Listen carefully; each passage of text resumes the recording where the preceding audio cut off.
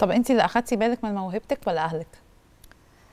آه لا الاثنين الاثنين حقيقة. يمكن أنا بالأول وأكيد أهلي كانوا دايما بيدعموكي. آه طبعا. أكيد هم الداعمين ال- هم هم أول داعم إلي في في الموضوع.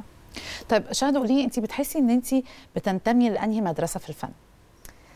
آه صراحة هو أنا شخص كتير متشعب ومتفرع. يعني السؤال هذا مش آه مش هعطيكي عليه إجابة دقيقة لكن آه أغلب الشغلات اللي أنا عملتها هي بتروح مع المدرسة التعبيرية أوكي. والواقعية. اشرحي لنا بقى المدرسة دي بتبقى عاملة إزاي. هي إنه انت اولا الواقعية اللي هي بتبقى آه، شيء مفهوم يعني انت لما تنظري عليه أو تشوفيه آه، بيبقى شيء واقعي يعني بيشبه الحياة اللي انت بتعرفيها الواقع. يعني ما بيبقاش آه، الإنسان عينه هنا وعينه هنا. دي مثلا زي التجريد أو زي ال- ال- التعبيرية ال- ال- ال- اللي كتير تعبيرية يعني فاهماني. بيبقى واقعي شيء معقول وبيشبه اللي عيننا متعودة تشوفه في الحياة العادية.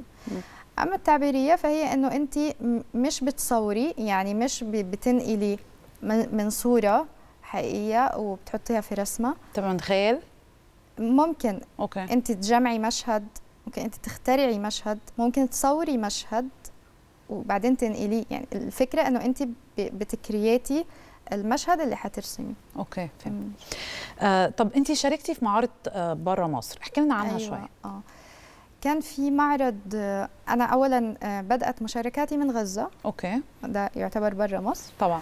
آه المعرض اللي شاركت فيه في مصر هو ليتني شمعة اللي هو المعرض الأخير. شاركت أيضا في معرض في إيطاليا اسمه of Place. آه بيحكي عن ال- الهجرة القسرية أو النزوح القسري آه حول العالم. بيجمع 160 آه، فنان لاجئ. بي بي بيحكوا عن تجربتهم مع الهجرة القسرية. آه وهذا المعرض لسه مستمر على فكرة. هو يعني بدأ في ثلاثة في شهر ثلاثة لحد شهر ستة يعني حينتهي هذا الشهر.